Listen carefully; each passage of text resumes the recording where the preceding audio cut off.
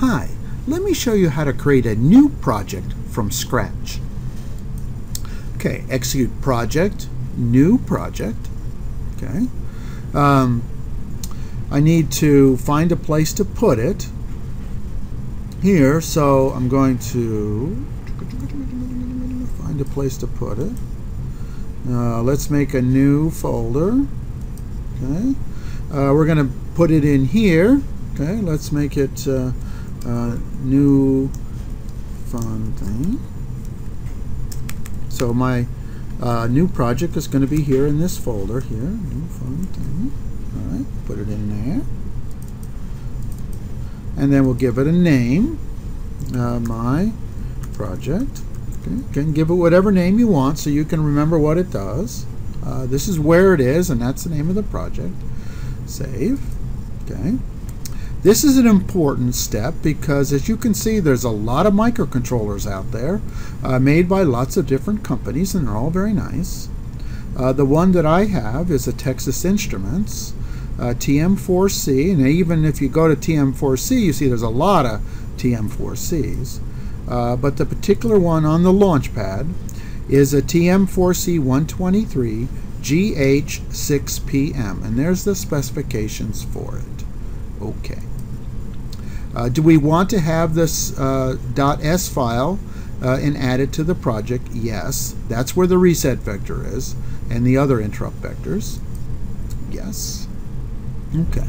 Uh, we can see there's not much here, just that startup file. Okay. So uh, the first thing I'm going to do is to change the name of my project here and give it um, a new name. That'll be my name and my project. Fun thing. Okay. Um, now you notice that I don't have any source, don't have any C code. So let's give it. Uh, okay, I'm gonna make a new file here. Save as. Okay. So I'm gonna make some C files. I'll call this one main.c. Uh, it's got to be a C file. It doesn't really matter what it's called. Um, I'm going to now type in some programs. Okay, here it is a, a program which toggles port F. And then I'm going to add it here, add new, add existing items to source group. There you go, add it. Close. Okay, so I'll create all my source codes and add them in here. Uh, if you want, you can change the name of this if you want to just call it source call it sources or source, whatever you want to call it. Um, you notice that it was inside of the um, TexasWare, uh, but this particular one uses uh, these pre-made definitions. All right, let's go further on. Let's look at more things. So our device, which we did, our target, um, I'm not going to use the floating point. Okay. Here's my uh, ROM, and there's my RAM. Uh, there's the output of my executable. Uh, do you like listing files? Sure, everybody loves their listing files. Uh, there's not much in this one. Uh, this one's interesting here. Uh, when I write in C, I like to use char as signed, and so I'll put that there. Down here, you could add an include path. I had put everything in that one directory. But if you have your files in other places, you can include them. So I could click here. I can go for a new paste. I can find it. And so uh, if you have some files that are in TexasWare, for instance, you could add a um, add a search for it, so it would get included. Um, this is the assembler. Uh, no particular things here. The linker. Um, not much to change there. Now in the debugger, since I have a launch pad, I got to use the um, Stellaris ICDI. And so I can do that. If I'm interested in using the simulator that we used in the class, we could add a dash D uh, for DLL. And now I'm going to put in the name of the DLL, Launchpad DLL.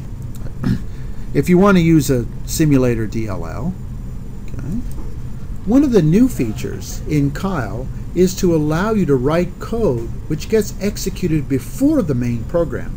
Okay? And so if you have to have code which is executed absolutely first, we could define a function called system init.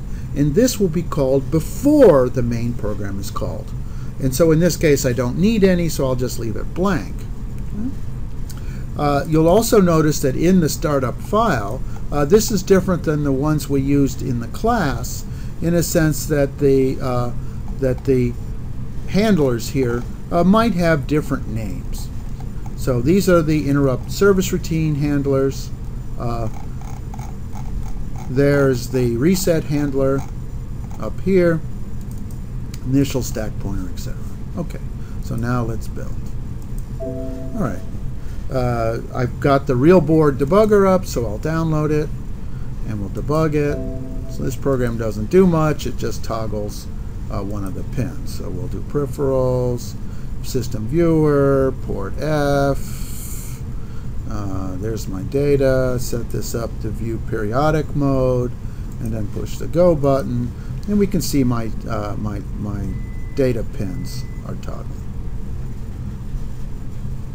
All right, one way to see that it's toggling is to set a breakpoint right here, uh, and then uh, step through the code, and we can see that uh, port F, which is now a, a 0x11, uh, gets converted to a 0x13 every time it goes through the loop.